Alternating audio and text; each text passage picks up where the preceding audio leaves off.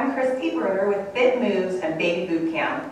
Welcome to November. We have a fun uh, workout idea for this month. We're going to do a You Can Do It workout. You might find this at your local location around the country in your baby boot camp class, or you can do this at home with cans that you have at home. We suggest you hook up with a local charity that might be collecting food for the families in your community that might be looking for food for the holidays. So we're going to do a few exercises with cans, something that you can find around the house. All right, our first one.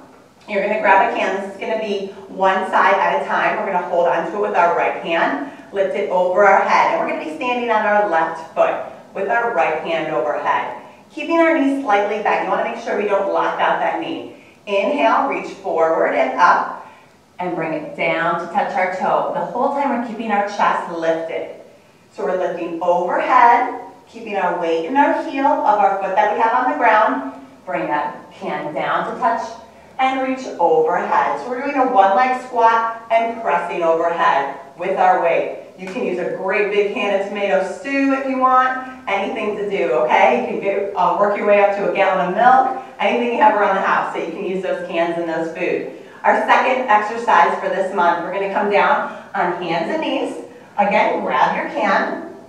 We're gonna start on the right side. Hands are always right under our shoulders, knees under our hips, making sure we have a nice flat neutral back. We're going to do a series of three different exercises working all throughout our shoulder and our rotator cuff.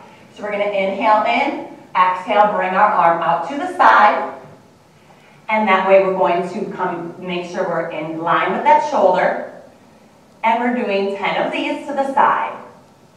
Inhale in, exhale to the side. After 10, we're bringing it forward. Keep that elbow up, Make sure that we're not dropping it, no elbows down. Our shoulder might be fatigued. It's a small muscle group. And then our last exercise after 10 of those is forward for 10 circles and backward for 10 circles. All the while keeping that back nice and neutral, shoulders relaxed and down. Of course, after we do the right side, we're going to do the left side, just like we did with our tap, and reach one leg squat. So there's some great examples of exercise that you can do at home with your own cans that you can go ahead and donate. And check with your local baby boot camp class as you, they may be offering a You Can Do It workout this month. We'll see you next month. Thank you.